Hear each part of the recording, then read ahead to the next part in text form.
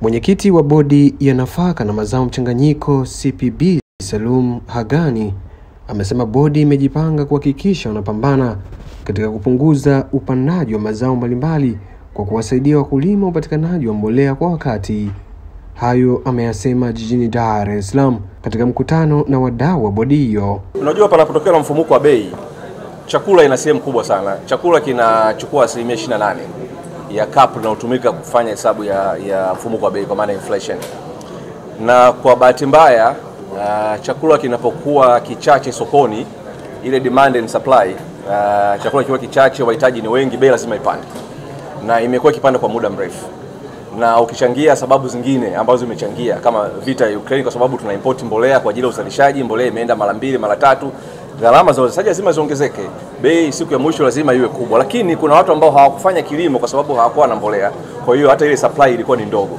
Uh, sasa sisi kama CPB tunaingiaje kwenye kusaidia swala kama hili? Namba moja, kwanza kusaidia upatikanaji wa mbolea katika kila sehemu.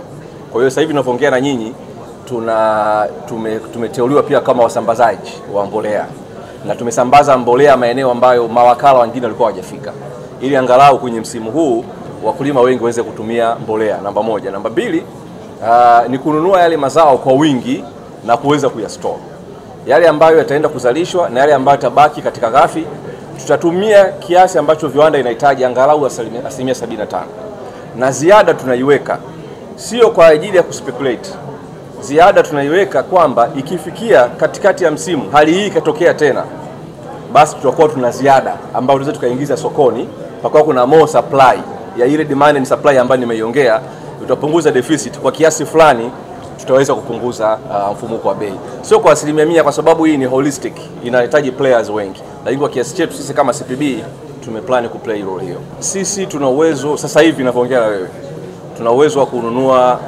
mazao mpaka bilioni 50 bilioni 50 50 billion. Huo ni uwezo wetu sasa hivi ninavyoongea na wewe, lakini bajeti yetu ya mwaka huu wa fedha unaoanza tumeongeza budget mara mbili mpaka bilioni 100 ili kuaddress hiyo issue ya inflation.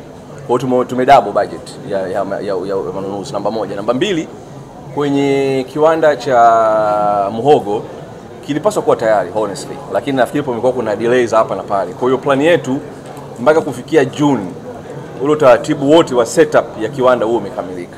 Kwa hiyo msimu um, utakaokuja tutaanza kununua uh, kununua kununua hiyo huo muhogo kutoka kwa wakulima. Issue ya inflation, sisi kama CPB tulikuwa tunauza mazao nje kipindi cha nyuma. Tulikuwa tuna ofisi Lubumbashi na Juba, Sudan ya Kusini.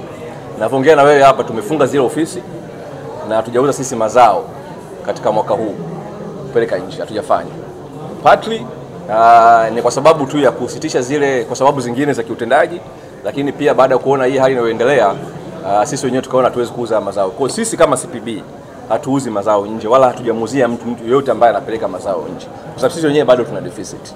Naitwa Level Ngaiza, ni kaimu mkurugenzi uh, idara ya masoko na udhibiti bora katika bodi ya korosho. Uh, kwanza hizi bodi ni mbili tofauti. Bodi ya korosho ni tofauti katika utendaji wake, pamoja ni tofauti na uh, bodi ya mazao mchanganyiko, kwa maana ya hii inayofanya biashara. Uh, bodi ya korosho kazi yake kubwa ni kuhakikisha kwamba inasimamia uzalishaji uh, kuhakikisha kwamba wakulima wanazalisha kiasi cha kutosha, lakini pia uh, wanazalisha kwa viwango bora kwa ajili ya kukidhi mahitaji ya soko. Zao la korosho kwa sasa linalimwa katika mikoa 17 ndio uh, limezidi kukua, lakini pia ni sehemu, kwa upande mwingine, sisi tunaotunza mazingira ni sehemu ya utunzaji wa mazingira kwa kuwa na uh, linahimili sana ukame. Kwa hiyo ina maana kwamba mpango tulio nao sasa si tu kuzalisha kwa maana ya kupata yale mazao, lakini pia iwe sehemu ya kupambana na mabadiliko ya tabia nchi. Tuko kwenye maongozi na wenzetu wa, wa misitu kuhakikisha kwamba wanapanda kila mahali. Kwa hiyo tunatarajia kwa mipango hiyo tutazalisha korosho nyingi sana. Sasa kwa bodi ya, ya mazao mchanganyiko, hili ni zao ambalo tutaomba iweze ku, kuwa inalinunua na liweze kulitangaza ili pia wale wanaofanya biashara ya zao hilo waweze kupata uhakika wa soko. Kumalizia swali lako, uliendelea kusema kwamba hatu hatujanufaika nalo, japokuwa ni zao kubwa sana. cha kwanza nishukuru kwamba umetambua ni zao kubwa, lakini la pili la kunufaika hilo nisingependa kulikubali kwa maana kwamba watu wengi wamenufaika kwa sababu ya kulima korosho na ndio mali imeendelea kukua. Katika mazao yote tunayolima yale ya kimkakati uh, traditional yalijulikana ya kibiashara, ni zao la korosho pekee ambalo linaendelea kuongezeka kwa kasi. Ukiangalia zamani tulikuwa tunajua inalimwa uh, Lindi na Mtwara, sio?